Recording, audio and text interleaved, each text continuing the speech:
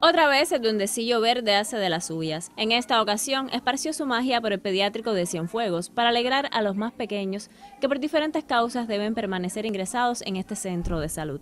Una sala de juegos que desde hoy abrirá sus puertas para lograr una sonrisa en los niños a pesar del dolor provocado por la enfermedad y esto lo ayudará en su recuperación. La sala de juego El Duende Verde, eh, también haciendo referencia como se le conoce y a la canción de los hermanos Novo El Duende Verde, eh, es un espacio concebido para la terapia más bien psicológica los pacientes que eh, tenemos ingresados acá en el centro. Siempre ha sido un anhelo, contábamos con ella y debido a la restauración y diferentes procesos que se han llevado a cabo en la institución fue, fue obviada en un tiempo y volvimos al rescate de la sala de juego.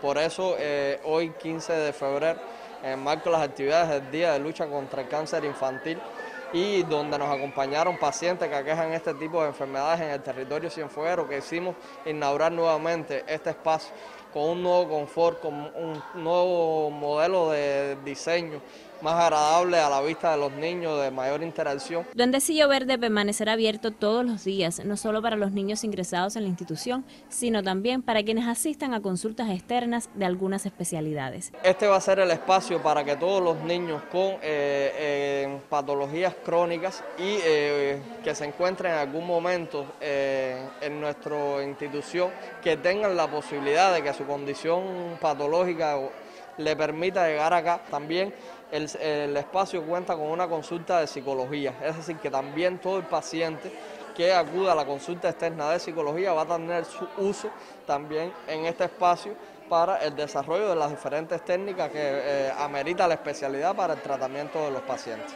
Este es un sueño anhelado por médicos y trabajadores del pediátrico provincial. Una sala de juegos llena de amor y juguetes al mando de duendecillos verdes divertidos que esparcirán su magia para que los niños y sus familiares olviden, aunque sea por un momento, el dolor que los aqueja.